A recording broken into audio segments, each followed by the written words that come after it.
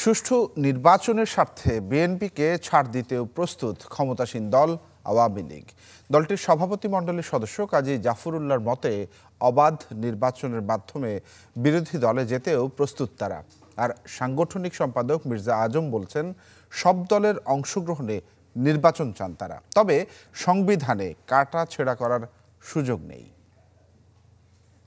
তবে এখনকার বাংলাদেশ গেল সাত মে আওয়ামী লীগের কার্যনির্বাহী সভায় বিএনপিকে নির্বাচনে নিয়ে আসার ইঙ্গিত দেন দলটির সভাপতি প্রধানমন্ত্রী শেখ হাসিনা। একই সাথে তাদের রাজনৈতিক কর্মকাণ্ডে বাধা না দেওয়ার নির্দেশনা দেন নেতাকর্মীদের। যার ফলটা দেশের মানুষ পাচ্ছে। কিন্তু এরপরও নির্বাচনকালীন সরকার প্রশ্নে দুই দলের অবস্থান অপরিবর্তিত। বেড়েছে রাজনৈতিক উত্তাপও। ক্ষমতাসীন দলের শীর্ষ নেতাদের কেউ কেউ বলছেন সুষ্ঠু নির্বাচনের স্বার্থে বিএনপিকে ছাড় দিতেও প্রস্তুত আওয়ামী লীগ।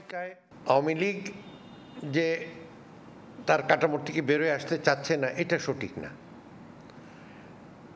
আওয়ামী লীগ কিন্তু খুবই আন্তরিক। মাননীয় প্রধানমন্ত্রী আমাদের স্পষ্ট বলেছেন যে তার একটাই টার্গেট, নির্বাচন অবাধ, সুস্থ, নিরপেক্ষ, শান্তিপূর্ণ। এবং সেই, এই এই কমিটমেন্টটা রক্ষা করার জন্য যদি আওয়ামী লীগকে বিরোধী দলের